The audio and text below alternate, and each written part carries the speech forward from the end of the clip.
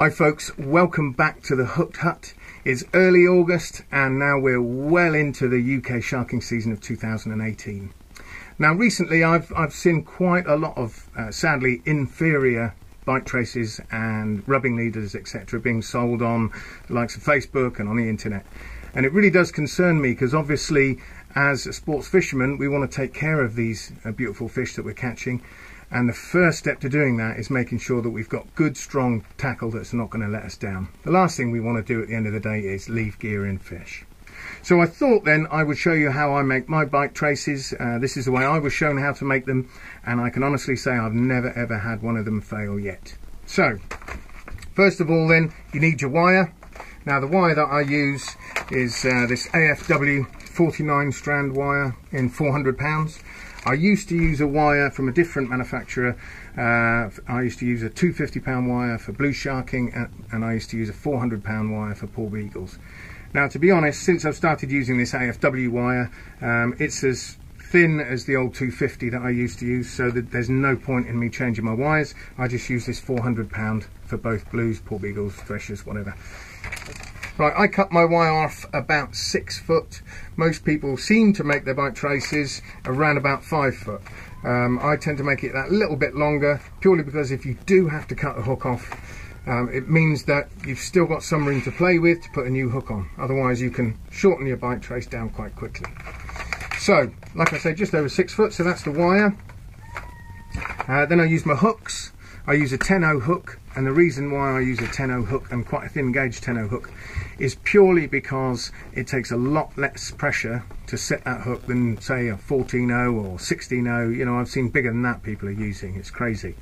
And the amount of pressure it must take to set that hooks is, is mad. So like I said I use a 10-0 quite a thin gauge 10-0 and, and they seem to work perfectly for all types of sharking. Obviously you can't bully say a, a big porbeagle too much with one of these because you are going to straighten it out. But then again, it's not about bullying the fish in my eyes, it's all about playing that fish. And I would much rather have that merry dance, as I say, with those fish than just drag them in. So the hooks are the 10-0. Then obviously you want your crimps and you want double barrel crimps. You don't want single barrel. Um, I've spoken about these before. Let's just see if I can find a single barrel for you.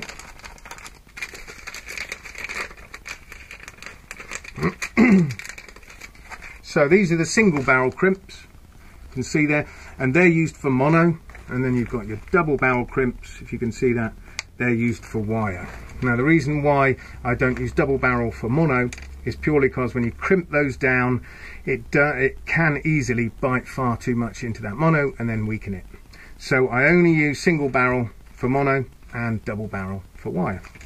So, I'm going to start at the opposite end to the hook end.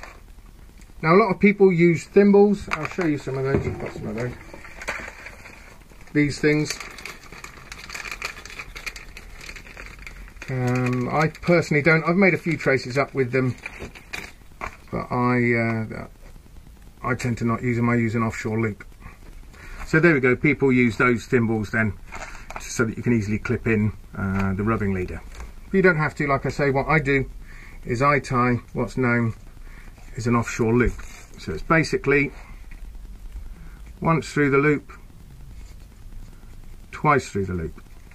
And then you pull that down and that gives you, you can see that, your offshore loop. So pull it down quite small. There you go. There. And then you just clip straight into there. The reason why I like offshore loops is a lot of the pressure is taken by the loop itself and all that will happen is that will tighten down. The pressure, most of the pressure is taken off of the crimps. If you just got a straight oval loop then all the pressure is being taken by those crimps to stop it coming undone. So that's why I do prefer to use an offshore loop. So let's get our crimp down there. So used, I use two crimps at each end. I don't use the one, some people do, but I much prefer to use two. Again, just to make sure they're extra strong and safe. Okay.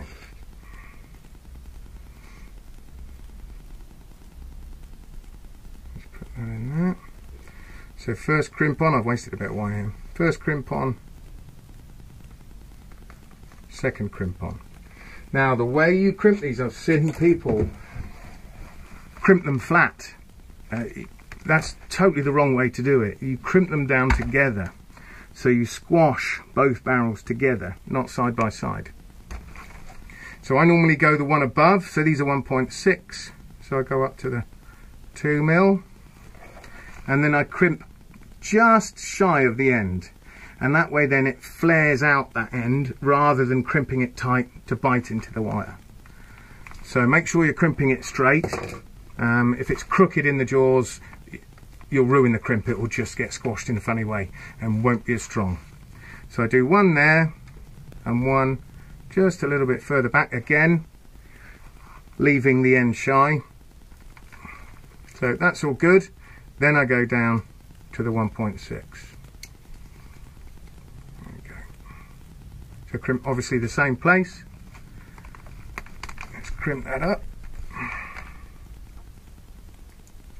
and same place.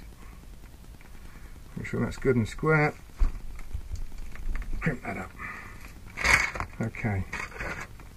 Now for the next one what you do is take it back and trim it back to where you want that crimp to sit. So if you want it to sit there move it back and cut that there. What you don't want to do is like that have a big tag end off or even one here because you're going to find when you're using it you're going to get it stuck in your fingers um, you'll get it catching on things. So it's all about making it nice and neat so it doesn't catch. So we cut that off. So I want that crimp about a crimp's width apart maybe just a little bit less. Let's cut that off okay so there we go you see Covers that end nicely. There we go. Then we just crimp that one down. Crimp down. And that one. There we go. Nice and square.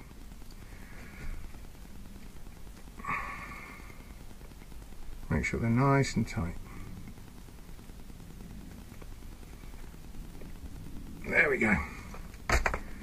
So there you go, they're nice and neat with the offshore loop. And then what I do to finish it off is I put a piece of heat shrink around it.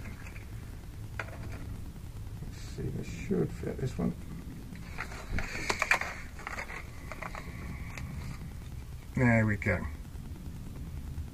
So sit that down over it and you just use, you can either do it over a kettle do it with a lighter. Just shrink that tube down.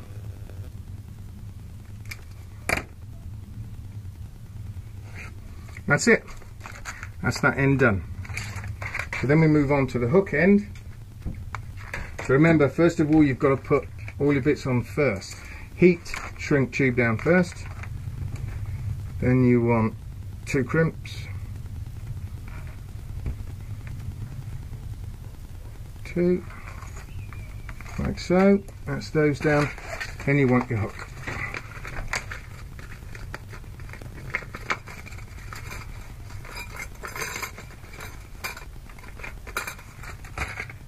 So there we go. Nice 10 0 hook. Beautiful. Now I don't know whether it makes any difference but I always put the wire through that way rather than that way. I don't know whether it pulls on it any better. I have no idea but it's just the way I do it so then you do an offshore loop. So you go through the eye of the hook again, and then you're going to go once through the loop, twice through the loop. And pull that end down. Don't make it too tight, because you need that hook to swing freely. So. There we go. And that hook swings nice and freely. Okay. Right, let me put our crimps on. So we do exactly the same as we did the other end.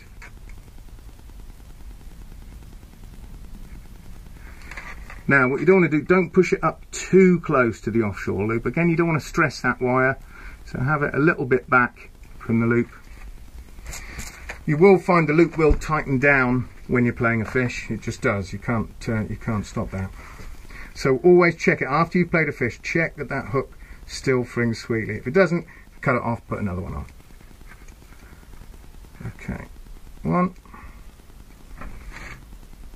Again, look, you can see back from the edges, and it makes them flare out.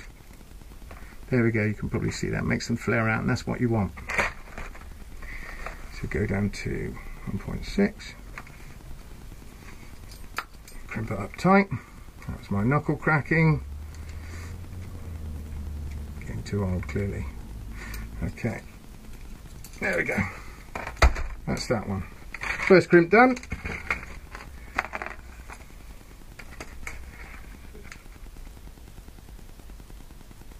Get that. There we go. Okay, so again, cut this back to where you want it to be around there. So it's got that gap in between. Hope you can see all this. Then we go once.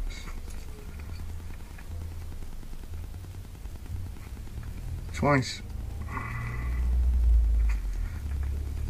Three.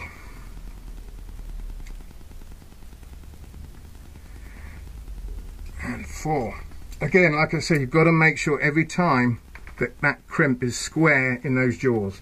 If it's slightly off, it's going to crimp in a, in a weird shape and it's going to lose a lot of its strength. So there you go, you see, both ends on each one flared out and then that puts a lot less pressure on the wire. If you crimped it right to the ends, then as that wire is moving around, it could easily bite into it and then obviously weaken that wire and you're going to lose your fish. So all we need to do now then Let's put the heat shrink over it.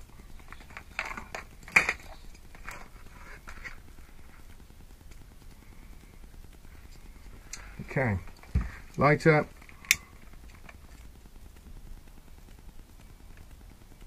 Shrink that down nice and evenly. There we go. I always sort of squeeze it round because it's still nice and soft and pliable. And there we go.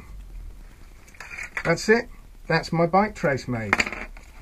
So thanks for watching. In our next clip, we'll show you how to make the rubbing leader. So until then, folks, tight lines, and we'll see you on that boat.